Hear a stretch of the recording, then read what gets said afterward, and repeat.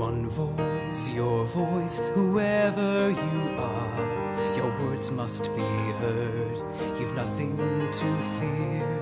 Then one becomes two, and all who are near can join in the song, and the truth will ring clear, and the sound is richer, and the world is brighter from the strength and the courage of one.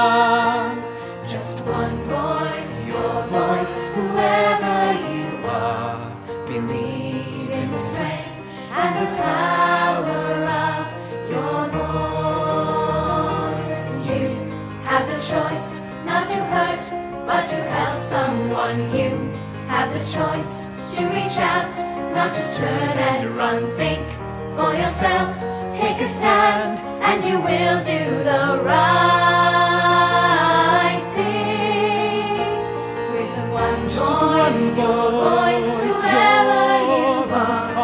are. All it takes is one words must be voice. You can move the Let go of your world. Take a stand with One voice, your voice, believe and be Your voice. The world can be changed by the power of one voice.